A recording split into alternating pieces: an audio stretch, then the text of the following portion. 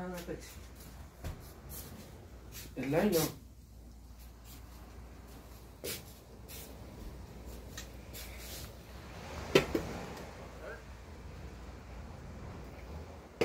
Entonces voy a poner otra acá como si me no me a